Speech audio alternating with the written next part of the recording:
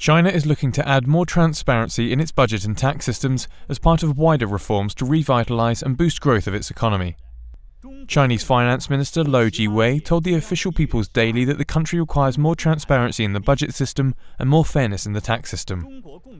Lou said the government will let the public know more about its expenses policies in the budget system to become more transparent.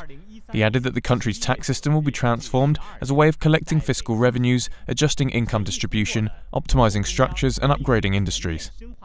The country will suspend its current system of preferential tax policies for different regions in order to ensure fair competition. Earlier in August, Lou said China will reform tax systems concerning business turnover, consumption, resources, and property to promote economic development. He noted the country will widen its pilot scheme of replacing turnover tax with value added tax, VAT is levied on the difference between a commodity's price before other taxes and its cost of production, while turnover tax is levied on a business's gross revenues. China's leaders unveiled a series of bold reforms over the weekend in order to optimize fiscal transparency and overall budget management.